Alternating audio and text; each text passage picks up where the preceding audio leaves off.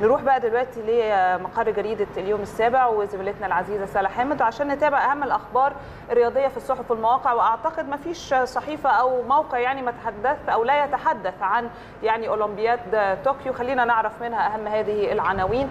يا سلا صباح الخير ونصبح عليك أنا وكريم. تفضلي.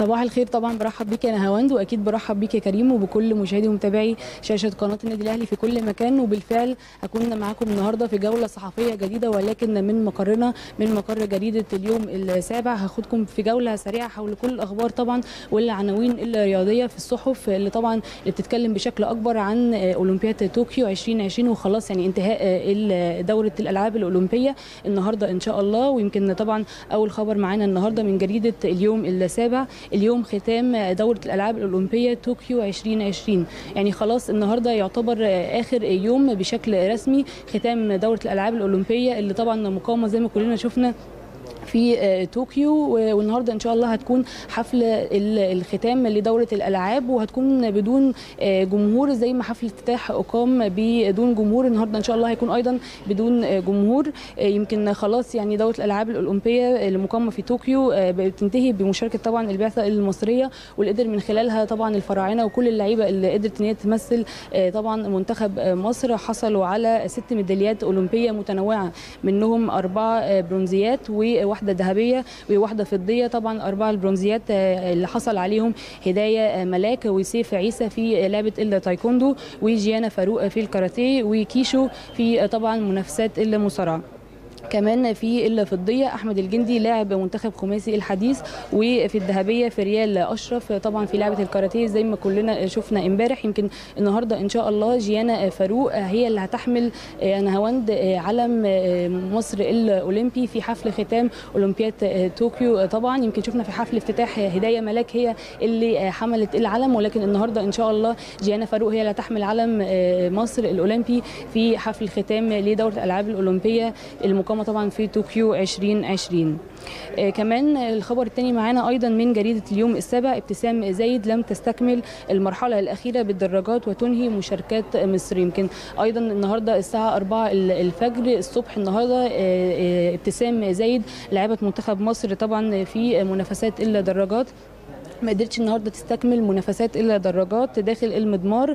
طبعا ما قدرتش تستكمل المرحلة الاخيره والمرحلة الرابعه بسبب طبعا سقوطها ويعني إنها يعني اتصدمت في حادث أمامها. ده طبعا بعد ما يعني المتسابقة الإيطالية سقطت من على الدراجه وتسببت في سقوط العديد من اللاعبات وكان من ضمن اللاعبات دول يعني ابتسام زايد. قدرت يعني ابتسام ما قدرتش ابتسام زايد إن هي يعني تسيطر على الموقف وإن هي تستكمل المسابقة ولكن فقدت يعني توازنها وسقطت من على الدراجة ولم تستكمل سباق الدراجات. وكده يعني ابتسام زايد بتحتل المركز الثامن عشر بعد أربع جولات من السباق.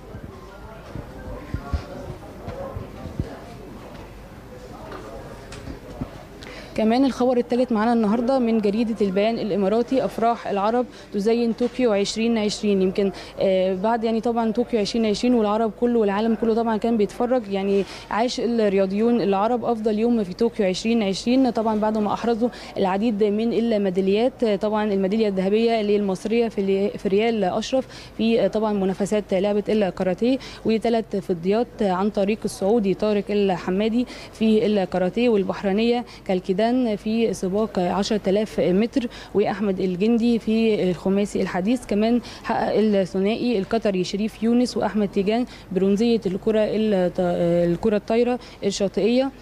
وبكده يكون يعني ارتفع طبعا رصيد العرب إلى 18 ميدالية بالدورة الأولمبية. طبعا المقامه في طوكيو بخمس ذهبيات وخمس فضيات وثمان برونزيات. يمكن دي طبعا يعني كانت أخبارنا النهارده يا نهاوند ويا كريم. ويمكن كل الأخبار زي ما شفنا متعلقة بدوره الألعاب الأولمبية واللي مقامه في طوكيو. وطبعا انتهاء وحفل الختام النهارده إن شاء الله واللي هيقام يعني في تمام الساعة الواحده ظهرا بدون جمهور. الجمهور. يمكن دي طبعا كانت كل أخبارنا النهارده. بشكركم جدا. والآن العودة مرة أخرى للاستوديو. كلمة ليكي طبعا يا نهاوند إحنا كمان بنشكرك جدا جدا زميلتنا العزيزة سلا حامد وهنا آه، قاسم أو القاسم. يعني عندنا مراسلات شاطرين وحلوين زي إحنا. الفل. إحنا مش إحنا بنختار صح برضه. زي. الفل. لا ما شاء الله عليهم بجد مراسليننا دايما متألقين وأخبارهم كمان حلوة.